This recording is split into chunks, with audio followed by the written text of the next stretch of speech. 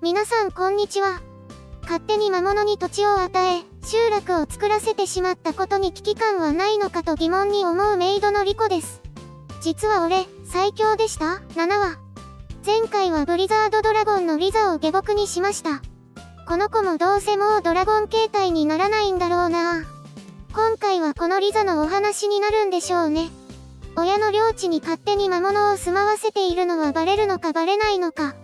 結構規模が大きいからバレそうだけど、きっとバレないんだろうな劣化版テンスラみたいなことをして、今度どう話を展開させていくのかも気になりますね。これよりネタバレを含みますので、嫌な方はチャンネル登録をしてからブラウザバックしてくださいね。いいですか？始めますよ。それでは、実俺7話のあらすじはこちらです。メイドとして働きたいということで、ブリザードドラゴンのリザを家族の前でお披露目。当主の了承もまだのまま、即迎えられる。その当主は、例のブリザードドラゴンを従えたことに感心しつつ、ルールさえ守れば好きにしていいと許可をもらう。プレイが先輩風吹かせて、普段することのないメイド業を教えようとするが、掃除、皿洗い、料理、すべてを圧倒的にフレイを上回る手際の良さを見せる。さらに、魔法の基本知識は揃っているので、シャルの専属メイドに就任する。プレイ先輩の面目丸つぶれな一日であった。翌日から専属メイドとして身の回りのお世話や魔法の教育をしだすリザ。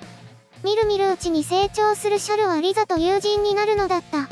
真面目で勉強ができ適応能力が高いリザを学園への従者として思いつく主人公。が、せっかく友人となったのにいきなり引き剥がすのは申し訳ないということで却下。いや待てよ、学園に従者として連れて行き、すぐにゲートで帰ってもらえば解決じゃね？という頭悪々な発想を思いついて採用してしまう。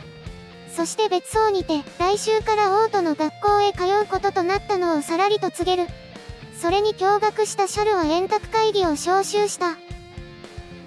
という感じです。いや内容、つ。なんか今日終わるの早いなぁ、と思ったらエンディング時点であと9分も残ってたからね。本編10分ちょっと短くこんなんじゃ全然話すことないよ。天聖賢者みたいな尺稼ぎをしないだけ潔いといえば潔いですけれど、こうしないとちょうど良くなかったの ?C パートでは何をやっていたのかというと、小ネタですね。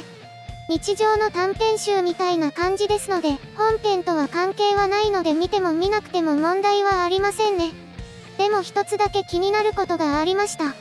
魔法レベル測定装置で3人の魔法レベルを測定したっていう小話がありました。魔族である二人が高いのはわかる。シャルも高いのはそういう素質だってことで納得はする。で、この世界は魔力絶対主義で、魔法レベルなるものが高ければ高いほど強いんですよね。人類は魔族と戦争をしていたようですけれど、魔王の周りにはフレイを超える強敵が多数いたはずなんですけれどどうやって勝ったの？魔王を討ち取った王妃のレベルって40程度なんですよ。フレイにすら勝てなさそうなのに、それよりもはるかに強いはずの魔王にどうやって勝てるわけ？技術が異様に高いから、なんて言わないでくださいよ。だったら魔力至上主義じゃなくってただの武力至上主義ですから。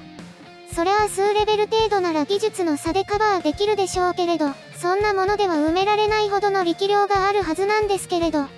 魔王とそこら辺の魔族とではそこまで力量差がなかったんでしょうかね。そんなバカな。ちゃんと考えて舞台を用意しているのかいささか疑問に感じます。さて本編に戻りまして、今回フレイがちょっとかわいそうと思った。けど残念だが当然、主人公の下僕として働いているはずなのに、全くその態度が見えない傲慢さ、無法っぷりを見せつけていたらしょうがないよね。ちょっとはメイドとしての仕事くらいできるようになっていなさいよ。15年間ずっと魔物の統率だけしてたの？主人公も主人公で、しっかり下僕のしつけをせずに放任していたのも悪いですよ。自分は関係ないですよみたいな顔しているけど管理者責任はどうなってるの？下僕の管理くらいちゃんとしなさいよ。新入りの優秀なメイドを従者と決めたっていうのは予測できたことなんですけれど、ちょっと意味がわからなかったです。えー、っと、シャルの専属メイドだけど従者として学校に連れて行って、すぐに戻ってもらう？送り出したのになんで戻ってきてるの？って思われるし、従者の仕事できないじゃんどうするの？他生徒の従者たちともネットワークを作って情報共有みたいな、従者たちだけの仕事やコミュニティがあるかもしれないし、戻したらダメでしょ。ずっとそばに控えさせておくシステムかもしれないし、もしそんなことがあったら、全福助は従者すらまともに連れてこれないほど貧乏なんだって思われてメンツ丸つぶれじゃん。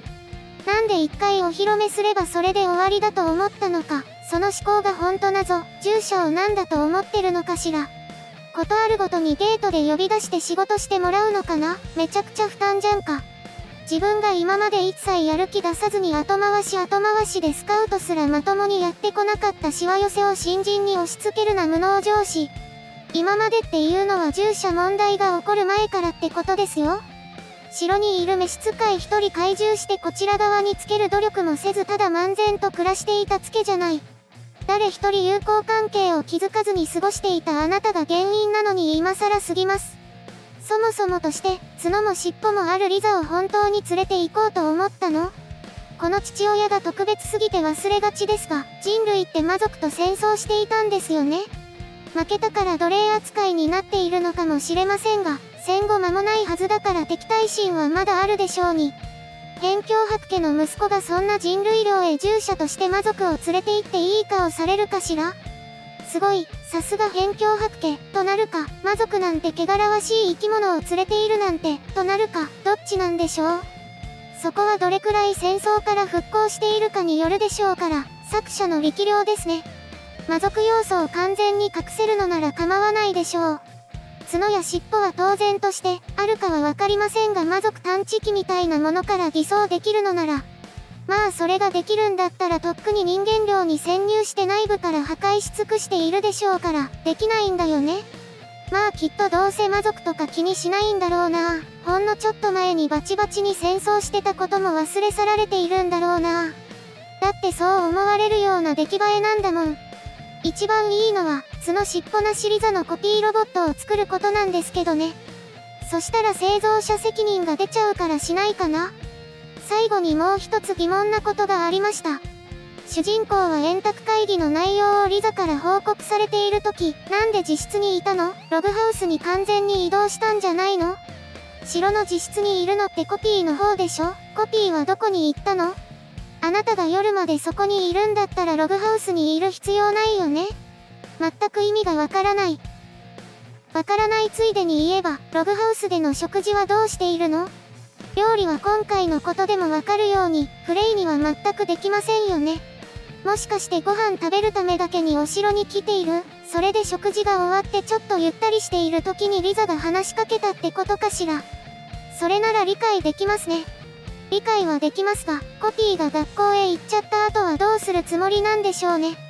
誰も生活能力ない上にする気がないのになんで一人暮らししようとしているわけ？もう訳がわからなさすぎるよ。今回の動画はいかがだったでしょうか？このような感じで私が思ったことをありのままに話していきます。私に話してほしい作品がありましたら概要欄にあるリクエストページよりリクエストをお願いします。気に入っていただけたらコメント、高評価、チャンネル登録をよろしくお願いします。メンバーシップもありますので、良ければメンバーにもなってください。私がすごく喜びます。